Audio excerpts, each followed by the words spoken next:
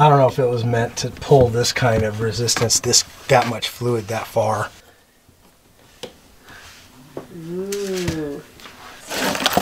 It comes like bent in half like this. I think I can modify this to fit that.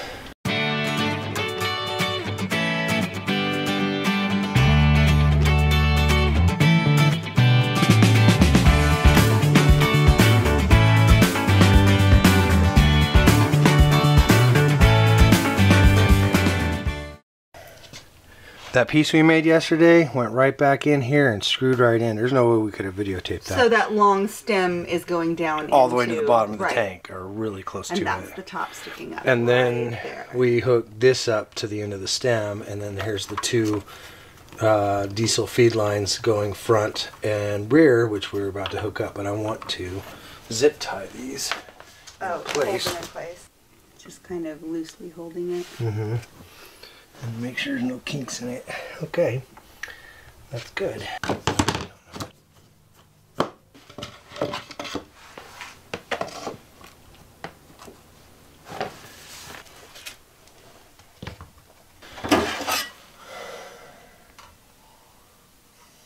Oh.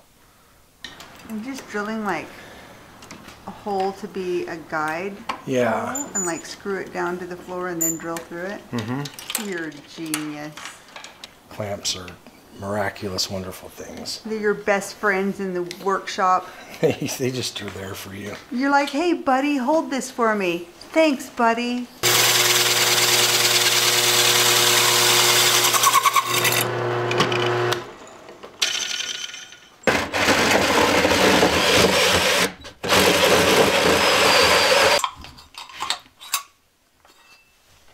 Excellent. And then this, this is n- unfriendly.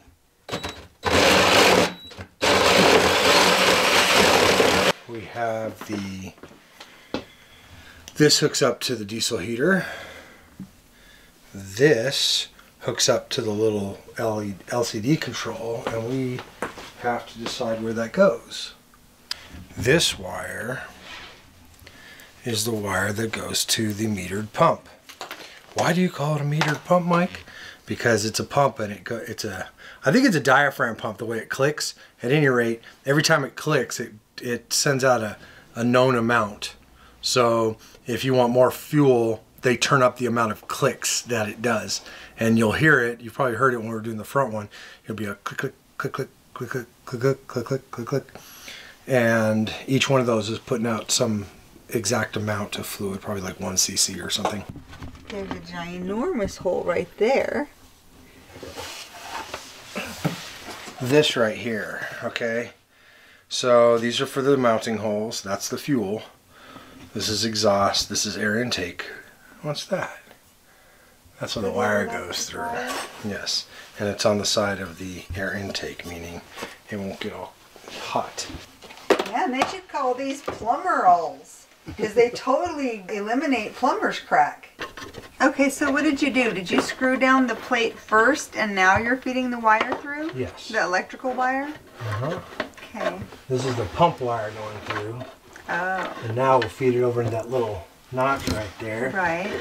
Like that. Again.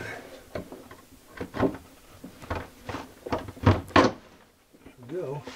Here we go. So we can't install it yet. You know why? Because we have to drill more gigantic holes in the wall. What? f- Oh, through the wall for the hose. The, Hose, yeah. Yeah.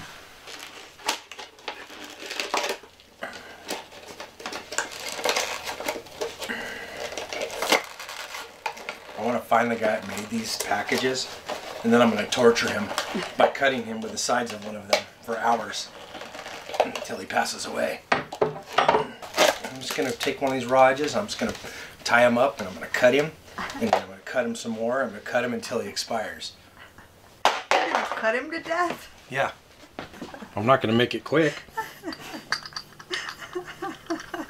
Yeah, that's how I feel about that packaging too.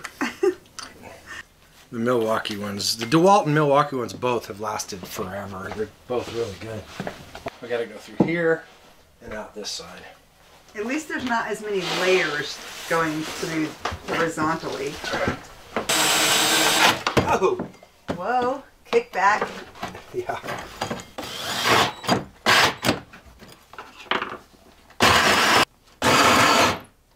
More batteries, please. 23 to the outside edge.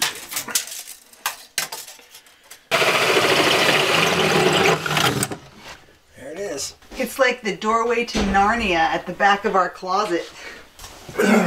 Okay.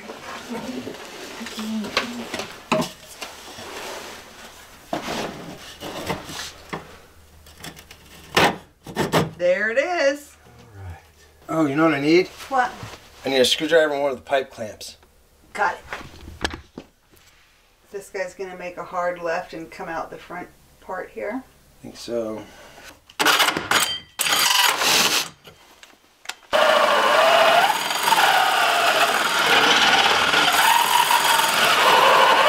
Holy smoke! Ha! Get it? Holy smoke! There.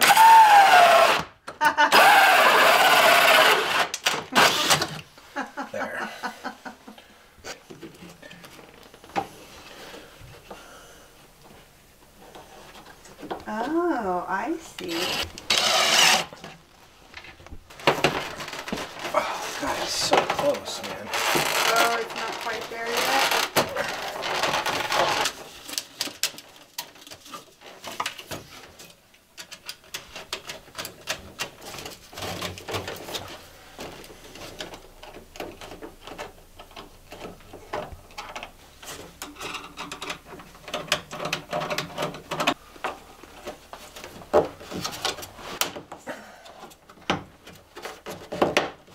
There you go.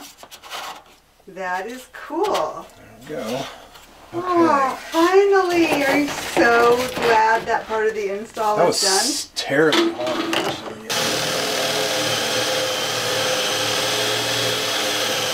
Because I had to fit that connector through and there's no way of disconnecting it. Oh, So I drilled this hole and then we will eventually connect to the do other. it like that. Okay.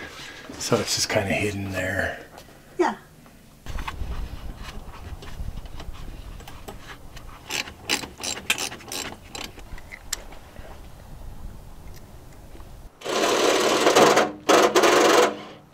Planning on spending the rest of your life under there? I sure am. Kind of seems like that at this point. Yeah, what's for dinner? Weeds. Okay, now everything's hooked up, exhaust hooked up, air intake hooked up, everything's hooked up. Okay, let's go. Time to turn it on. Okay, My poor honey. I hate doing that. I know. So this thing came with a 15 ampere.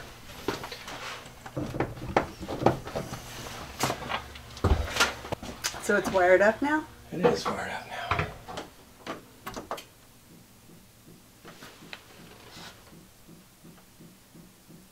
You know what that is? The pump. the pump. That's our pump right there. And we're waiting for the fuel to get over here. You can see the bubbles right here in the fuel line, but it's bringing the bubble free fuel right now. And it's just turning the corner over there. And then there'll be no more bubbles left. And it will uh, get into the pump and then come over this line. And we're priming the line is what we're doing. There's a setting on the pump to prime the line. So it takes about two minutes before you get heat coming out. It does its little thing. First it turns on the fan and then it turns on the glow plug and it waits for the glow plug to heat up. Then it uh, starts feeding fuel into the tank or into the uh, combustion chamber. And then as it heats up, the fan will speed up and you'll hear it. Tick, tick, tick. Uh huh. Barely. It's soft.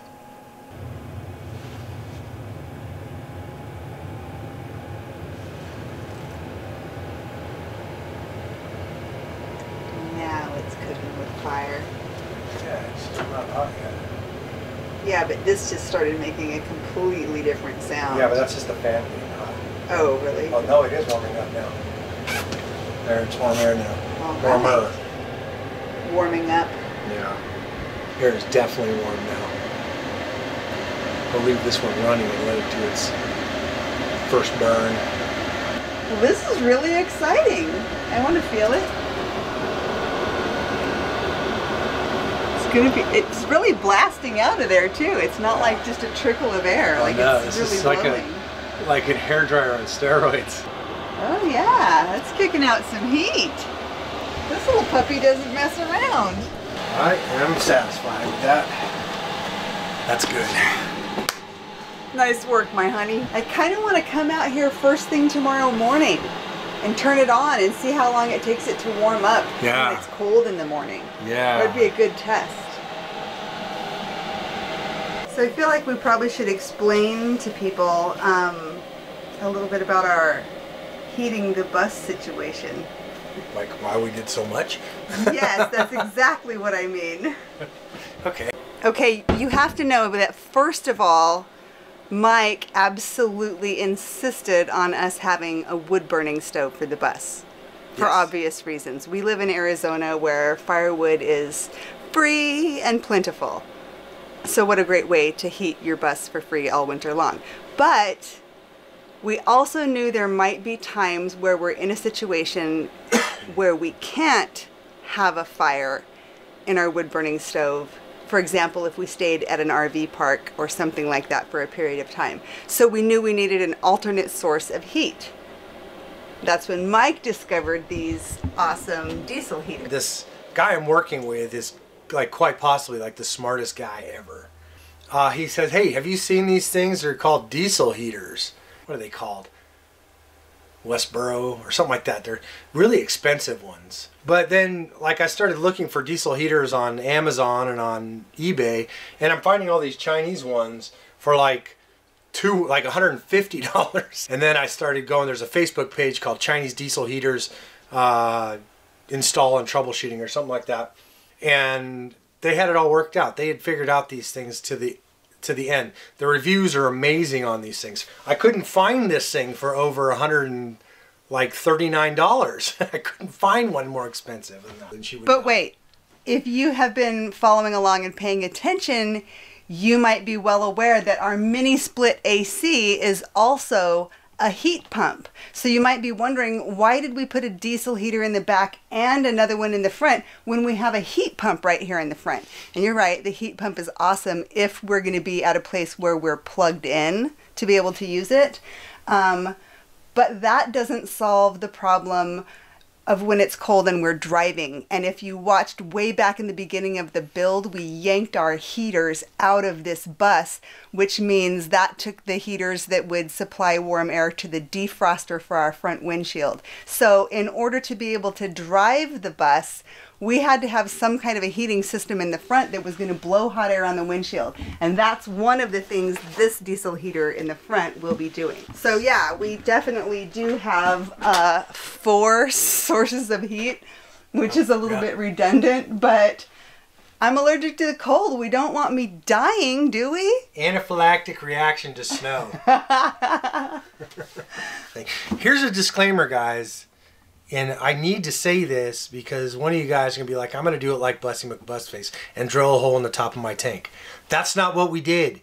Okay, we did not drill a hole. We had a hatch, and then when I looked in there this morning after we cleaned it out, there was a rather large set screw there, and I was able to unscrew it and then modify it. Do not drill a hole into your gas tank because you'll blow up.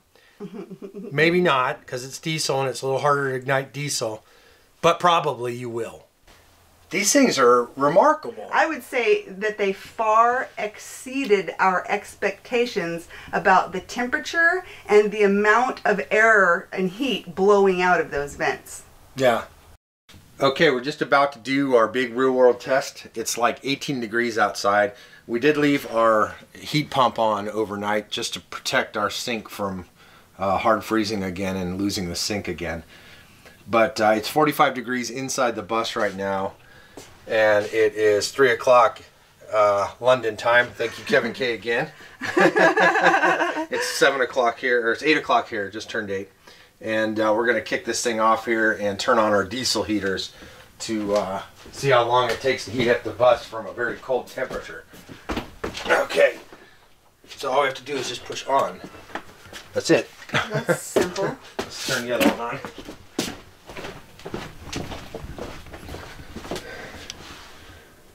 You don't have to like adjust the Uh-uh. setting. This is our big real world test to see how long it takes for the bus to heat up from cold. Very cold. You can hear the heaters going from out here. They sound like little jet engines.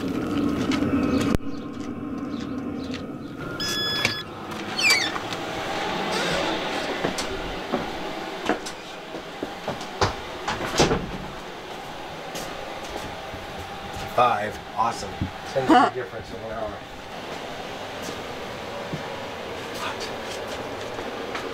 Nice. Still blowing hot. Very hot, like uncomfortably hot to touch. Smells funny a little. I think it's still like still part of the smell it. I like think the it's still first new. burn. Yeah, it smells a little bit like sniffing a car tire Yeah, it up does. close. It just reminds me of the smell of a tire, That is like remarkably hot. but very mild. I can't keep. Like that's hot. This is cool. This is a fun test. We finally got the temperature up, and it's almost. We both agreed it's kind of almost uncomfortably warm. We're abandoning the test because So- it's too hot out here. We're gonna take it to 70, but it's just like it's becoming balmy in here, and this is roughly the temperature we live at. We don't, I don't know, between 68 and 70 or so. But uh, so interesting findings. It went up really fast. We've been running it about an hour and 40 minutes at this point. We've gone from 45 degrees in here. Actually, it dropped down to 44. I did forget to turn the camera on for about 10 minutes in the very beginning, but in that period of time, the temperature went down one degree while this thing was, while these things were uh, kicking on.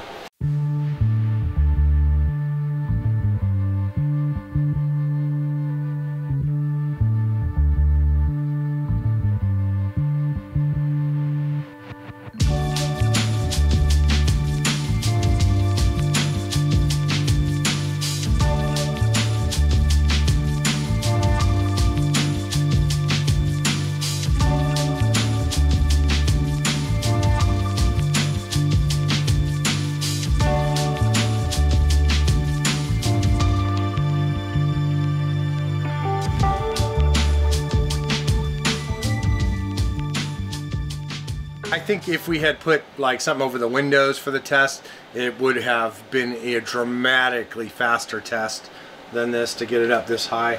I think that uh, I'm not unhappy with the results. So these things worked amazing.